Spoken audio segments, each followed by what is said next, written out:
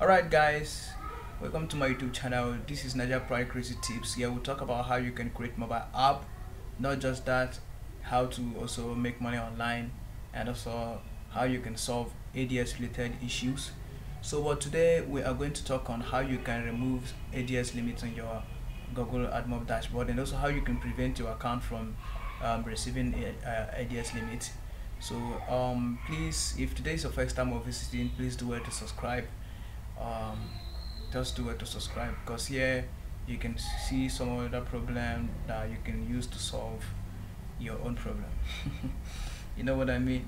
When you see the problem that you can use to solve your own problem it's still something something that we need to take off so now we are going to talk about it and you can see this at times when you build your mobile app and you will then notice that this ad serving limit had been placed on your uh, AdMob account.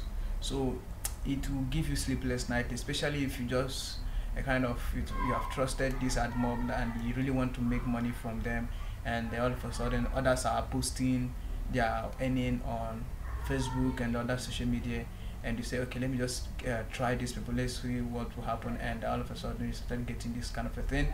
And this thing you see that it can take almost a week getting to a month at times two months for this thing to disappear. You understand? So but today i'm going to show you the quickest way the quickest guide for this to to disappear on your dashboard. So what are you going to do? I'm going to teach you the two different ways you can do this. First of all you have to do what? Check your ad unit. Select the, the kind of app the particular app that you you're working on and then click on this um, ad unit. Here are the units the ad units. Here are the ad units. So what are we going to do? We are going to start removing them. Just click the bolt and do what? We remove them by clicking here. You remove. Have you seen it then once you remove it like this what else are we going to do? We're going to leave this particular um, dashboard for two to four days. Then come back and check if this particular ADS limit have been uh, removed. So and uh, after that there are other ways you can also do that is by clicking at this feedback button here. Once you click on this feedback and um, you're going to see this this is going to appear. So what are we going to do? We are going to click here to highlight or hide information. Just click here. We are going to give them a screenshot of our AdMob. Just click on it like this. You don't click done done done. It's going to capture everything there. You see? To show them that something is wrong here you can give them a feedback. You can say hi um, AdMob uh, team. I so so so things. I received the uh, ADS limit in my dashboard and uh, you should please assess my traffic check my traffic quality and uh, reactivate my account. Just try to let them know that this ads serving limit is also affecting people that are using your app. Are you getting it? Then just you know what I mean? Something like that. Just fix it and then send to them. Once you send it to them they are going to assess your traffic and also reply to you as soon as possible. At times even if you do this you send this to them they will not reply. They will not even do as if you are the one you are talking to are you getting it? What you have to do is just to exercise patience. At times this will take like two to three months for them to remove this particular TSC like this. Now this shouldn't be the main issue. What we are supposed to concentrate is how to prevent this from being uh, on our dashboard or having it in the future time. Are you getting it? So to do that hmm, it's very simple but very hard to do stop sharing your app link on social media one thing you should know about google is that provided that your app link is uh, inside uh, Play Store. Any any place that you paste that particular link, are you getting it? They are still going to do what? To trace it and then notice how and where you pasted the link. Have you seen the problem now? So that is the main reason why you should not try to do what? To paste the link there. Instead of that, tell them that this is the name of the app. And you know that particular one is even the main reason why they are going to ban your account. So the main thing is make sure you build your app, publish it on Play Store, leave it like that. Don't tell anybody about your app.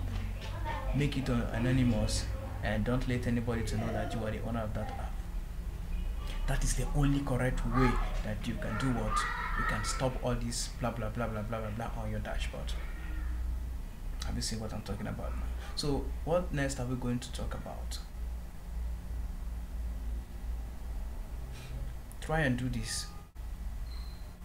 Um, two, three different ways is make sure you send you remove the ad unit um, make sure that you send feedback to them and another thing is you make sure you don't share your app on social media. Make sure you don't tell your friends about your app. Just do your app in such a way that nobody will notice that this particular app belongs to you all those kind of a thing. Then once you check your dashboard and notice that all these ads have been limited has been removed then you can now create a new ad unit and then go to your app creator and integrate your ads then it will start moving. Sometimes even when you uh, you after when they remove this ad serving limit now and um, you create new ad unit once you integrate it immediately they will serve you another limit.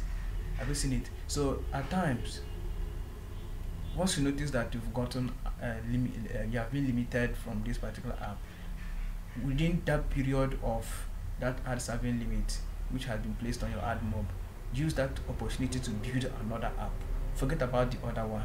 That is the reason why it is good to use two different ad uh, network so that each one that you've gotten such uh, stuff then you implement it like I, I prefer start app. Just copy StartApp id and then place it there all of a sudden everything will just start working. You will be making your money even though they place this ad serving on your your dashboard. Then use that opportunity to create new app. Then immediately they remove this ad serving you create new um, you create new ads unit and then integrate it into the new app. It, everything will start working perfectly. Then you continue creating new app. You are not going to get this ad serving limit again. So this is this dashboard is uh, from a friend. So I'm going to you know try and um, remove it for him. So if you have any other issue related to this stuff you can just do it to drop the comment at the comment section. Ask any question i'm ready to answer you. And if the problem is beyond we can do video to show you guys how you can do it and how to solve it. So in this particular place you can request for video and we'll give you the particular video that you requested for. Thank you for watching and may god bless you